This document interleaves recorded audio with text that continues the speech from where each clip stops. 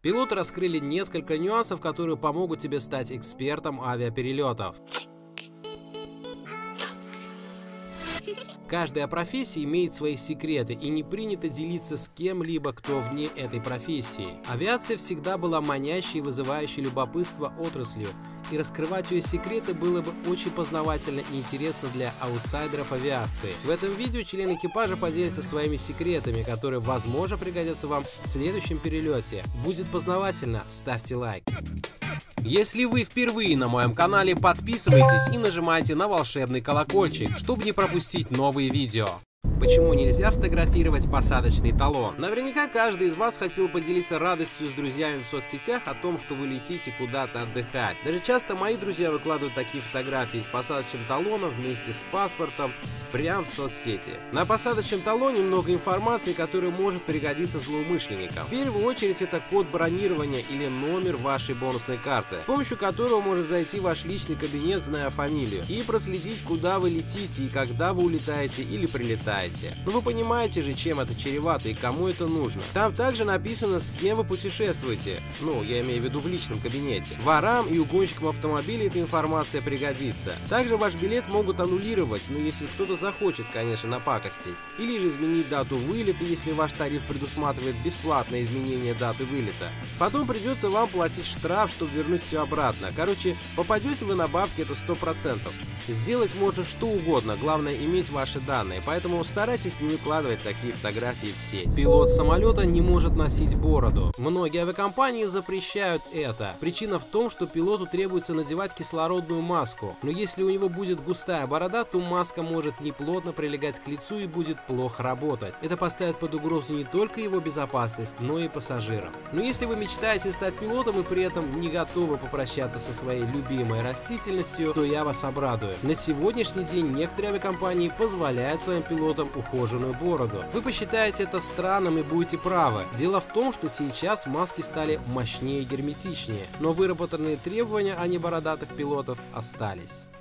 Почему холодно в самолете? Согласно исследованию, проведенному американским сообществом по тестированию материалом, пассажиры с большой вероятностью могут потерять сознание на борту самолета, чем на земле. Это связано с гипоксией. Она возникает при недостатке кислорода во вдыхаемом воздухе. И перегрев на борту может вызвать гипоксию, поэтому температура устанавливается ниже среднего. Постарайтесь не ворчать из-за холода на борту. Утепляйтесь и не болейте. Самолеты не летают по прямой траектории. Boeing 747 сжигает потребляет более 11 тонн топлива за каждый час полета. И логичнее предположить, что укоротить дистанцию между точками А и Б было бы выгоднее. Но если посмотреть маршрутную карту в салоне или на флайт-радаре, то увидите не прямые линии, а дуги, а иногда и зигзаги. С дугами все до банальности просто, земля круглая, мониторы и карты плоские. А вот почему зигзагами летают? Потому что самолеты летают не абы как, а исключительно по воздушным трассам. Самолет летит по цепочке заранее заданных точек. Все заранее рассчитано из соображений безопасности, внештатной ситуации или же из-за погоды. Максимально быстро прибыть в ближайший аэропорт. Небольшое дополнение от меня. Впрочем, с перелетами через океан ситуация чуть сложнее четырехдвигательным самолетами все просто, лети кратчайшим путем. А вот остальные так не могут. Дело в том, что двухдвигательным самолетам не разрешают слишком далеко отдаляться от ближайшего аэродрома. Идея тут в том, что при отказе одного двигателя самолет должен долететь до запасного аэродрома,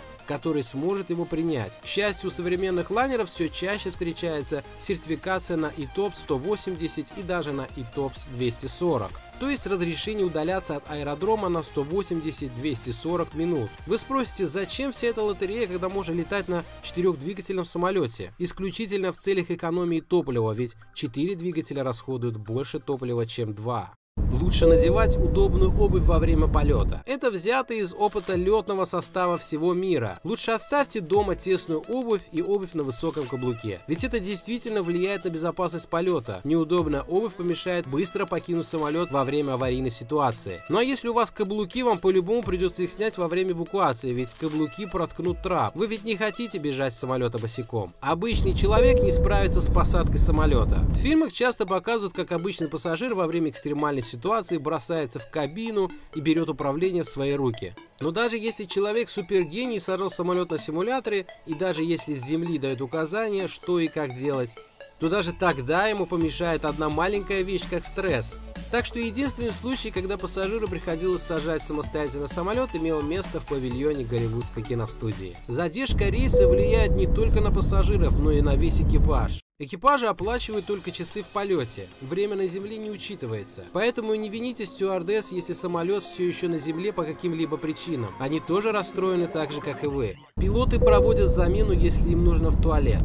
Когда пилоту нужно в туалет, стюард должен зайти в кабину пилотов и ждать, пока пилот не вернется. Это делается для исключения блокировки двери пилотом, пока другой отсутствует. И, кстати, у некоторых авиакомпаний для экипажа есть отдельные туалеты для того, чтобы экипаж не ждал. Так как среди пассажиров возникает паника по поводу того, что кто же управляет самолетом, пока пилот отсутствует. Еда на самолете не такая вкусная, и никто в этом не виноват. На большой высоте наше восприятие вкуса меняется. Также влияет на наше восприятие низкая влажность шум в кабине и пониженное давление. К примеру, воздух в кабине на 15% менее влажнее, чем на земле. Это объясняет чувство обезвоживания и чувство сухости в носу и во рту. И это влияет на вкусовые ощущения. Учитывайте этот факт, когда будете жаловаться на качество вина на борту. Это все то же вино, которым вы наслаждались на земле, просто изменились окружающие условия. И, кстати, чтобы лучше почувствовать вино, лучше пить его в начале полета, а не ближе к его завершению, когда мы теряем существенно больше жидкости. Удобная одежда – залог здоровья здоровья. Постарайтесь одеться удобнее в полет. Приятный телу материал, свободная одежда помогут заснуть.